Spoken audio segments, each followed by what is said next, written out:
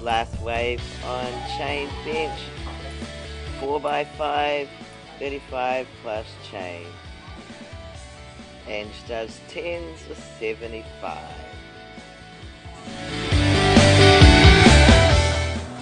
Zoe ventures 140 to a 1-board tonight. Yep.